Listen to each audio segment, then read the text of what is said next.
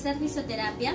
Claro que sí, porque presenta inflamación y ardor en la parte de la fractura, ¿no?